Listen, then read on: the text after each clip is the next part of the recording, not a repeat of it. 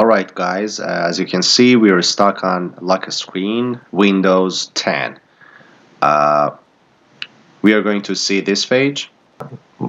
As you can see, uh, no clicks or no enter keys uh, uh, works here and uh, I'm gonna show you the procedure.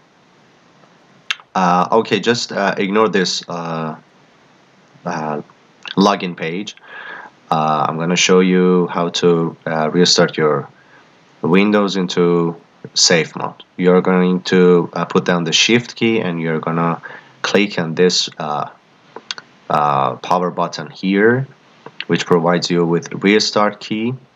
Uh, while holding the shift key down you click the restart and okay here we can see three options. We are going to uh, choose troubleshoot.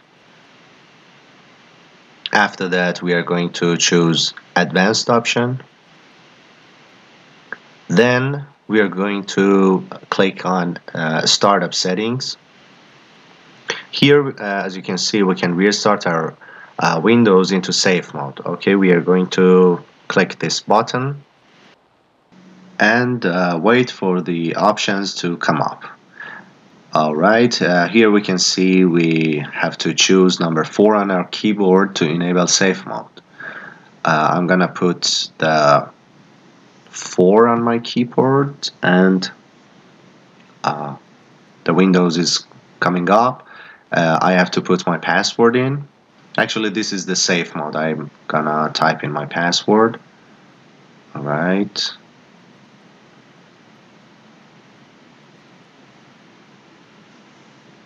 Okay, as the, the windows come up, uh, we can see we are uh, booted into the safe mode uh, of Windows.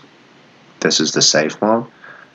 And I'm gonna click the start button, type uh, msconfig, as you can see here.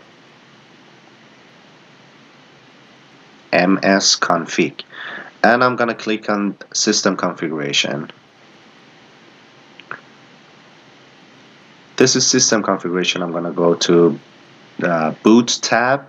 And here you can see this is uh, the one that causing the problem. I'm gonna unclick the safe boot then apply. Okay. And I'm going to restart.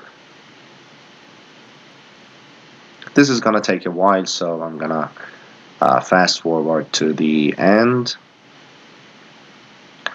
I'm waiting for the windows to come up. Okay here we can see our lock screen. And after clicking or uh, pushing the enter button we can uh, log into our windows and everything goes as normal